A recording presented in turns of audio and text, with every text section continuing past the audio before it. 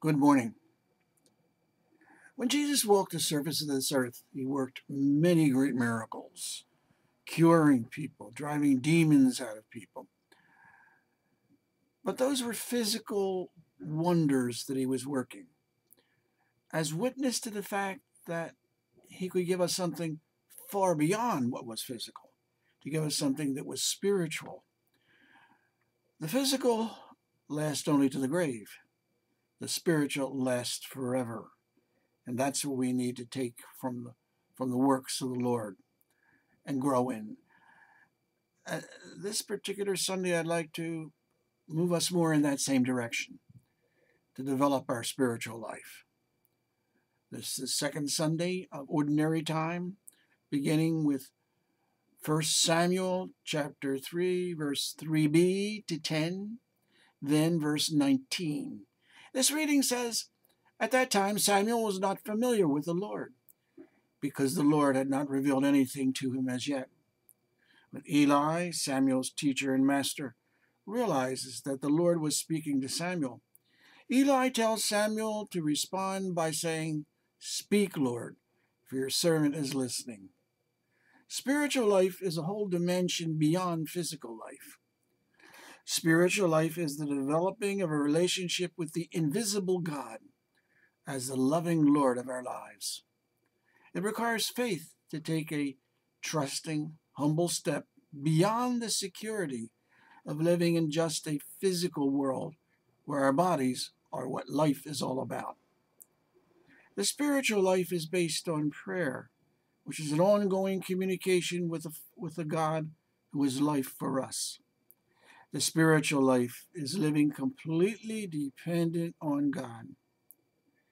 In the third reading, John chapter 1, verse 35 to 42, John the Baptist refers to Jesus as the Lamb of God. In John chapter 1, verse 29b, John calls, John the Baptist calls Jesus the Lamb of God who takes away the sin of the world which is to say that Jesus is the Messiah. John mentioned to two of his followers that Jesus, who was walking by, was the Lamb of God. One of those was Andrew, the brother of Simon Peter. Andrew brought his brother Simon to Jesus, who adopted Simon as one of his own by renaming him Peter.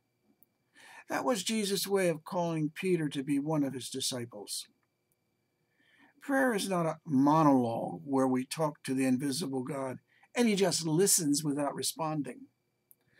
Prayer is a dialogue where God also speaks to us, but usually not in words that are audible.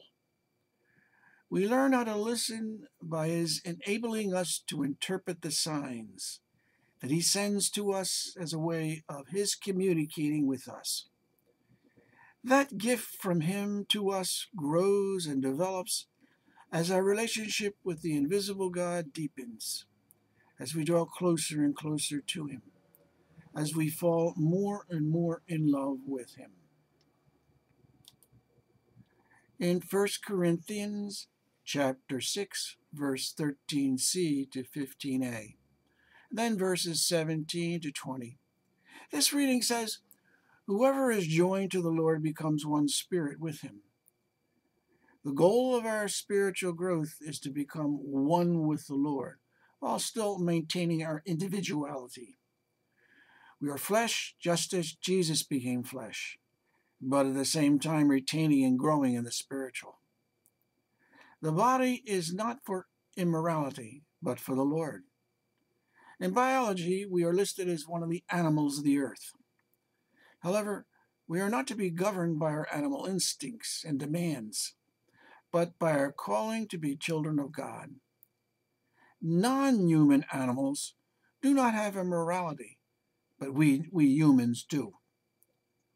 Do you not know that your body is a temple of the Holy Spirit within you, whom you have from God, and that you are not your own? For you have been purchased at a price. Therefore glorify God in your body.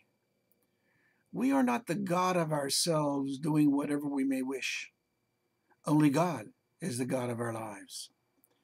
In the ongoing development of our faith, our faith lives, we more and more recognize Him and interact with Him as God and Lord and Lord for all eternity.